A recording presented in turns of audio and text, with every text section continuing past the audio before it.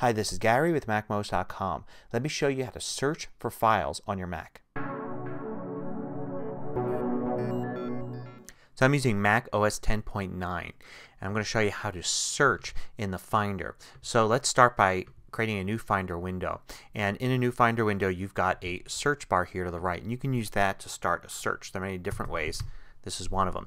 And then when you type you get a file names name matches test. So you can decide right away whether or not you want to search for this term inside the file contents, which is what it's doing now, or you want to focus on searching by name. So now it's just going to search for files with that name. And then you can also set where it's searching. This Mac or just in the Documents folder which was the folder that was in this window before I started the search. So now notice the name is selectable here and I can change it back to everything if I want.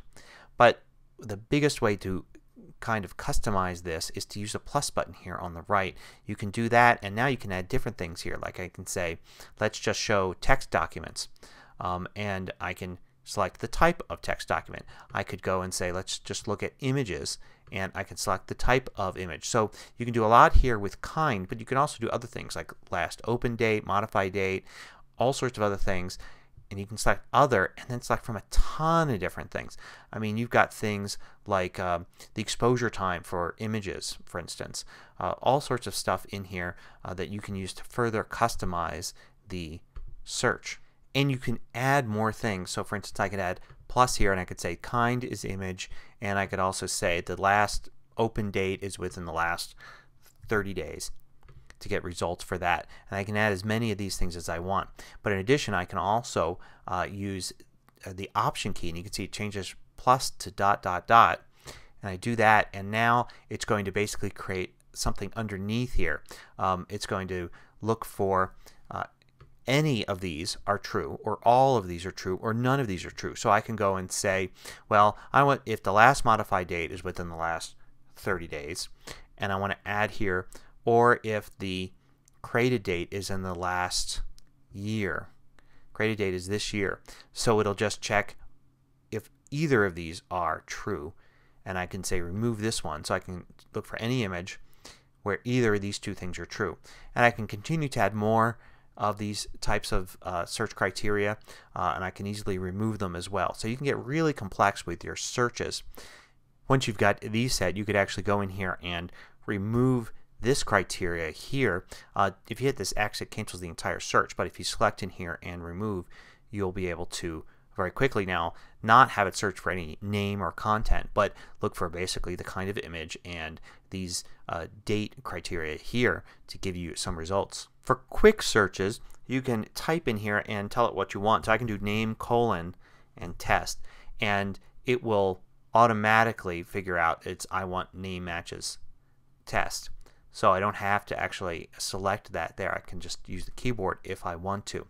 Also of course it's much quicker in many cases to search using the spotlight menu up here and you can do that and then quickly uh, hit show all in Finder and it will actually open up a Finder window with uh, that that uh, result there. So it's just a quicker way than creating a Finder window. You can start here instead and use that show all in Finder window. Now you probably notice this save button here when you do searches and what that does is it creates a smart folder and a smart folder is basically a saved search. So I can save this uh, to the uh, it'll automatically go to saved searches in your library and where that will appear is in the left here under favorites. So you've got a quick way to return to the search and the cool thing is about smart folders is they are always going to update with the latest content. You can also create smart folders by going in the Finder to new smart folder and it basically opens up a search window where you can type the criteria there and it's automatically saving it as a as a smart folder. You don't have to do the extra step. So let's create uh, a new file here under Home Docs.